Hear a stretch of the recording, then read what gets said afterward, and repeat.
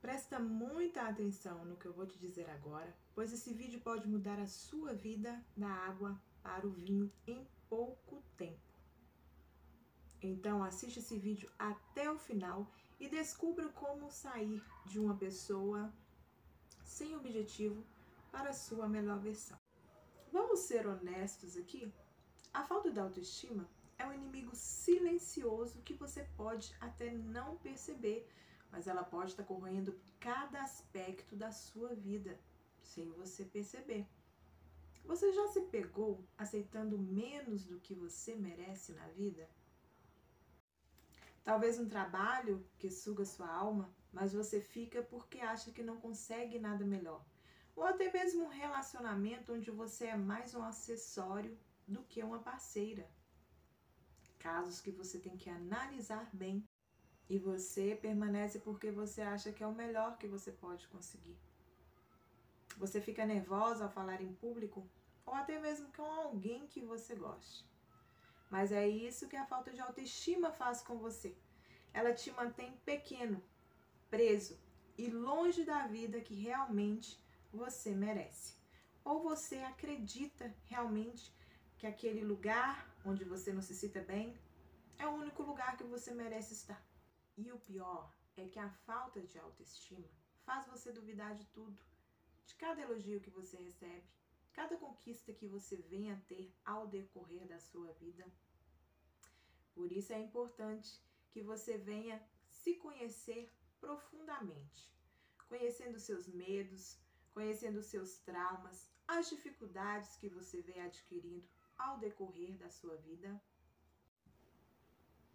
como você se enxerga, de uma forma boa ou ruim? O que te faz ser uma pessoa única? Todas essas perguntas são respondidas quando você embarca na jornada do autoconhecimento. Nós temos traumas que carregamos desde a infância. E a partir de que vamos crescendo e amadurecendo, nós vamos saber como lidar com esses traumas, né? Ou esses traumas costumam deixar marcas em nossas vidas, o que dificulta a nossa forma de convivência com as pessoas, com o trabalho, com a vida. A forma com que nós é, realmente escolhemos os nossos parceiros de vida, no relacionamento, nas amizades. Isso tudo pode também estar ligado a traumas que carregamos desde a infância. Muitas pessoas precisam de terapia para superar esses traumas. Ou muitas pessoas conseguem superar esses traumas sozinhas. Mas você pode também fazer uma autoavaliação e conhecimento pessoal. É, se você realmente é uma pessoa que está passando por essas dificuldades, onde não pode separar realmente é, seus traumas da sua vida pessoal. Às vezes nós costumamos levar os nossos problemas do dia a dia para o trabalho, para o relacionamento, né?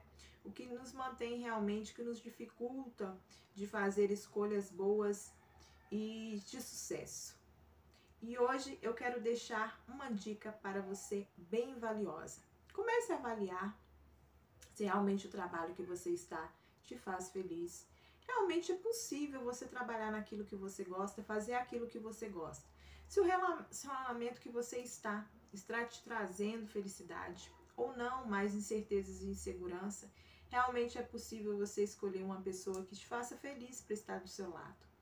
Essa é a minha dica de hoje. Se você gostou do vídeo, comente aqui, compartilhe, se inscreva se você não é inscrito e eu te espero no próximo vídeo. Um beijo para vocês.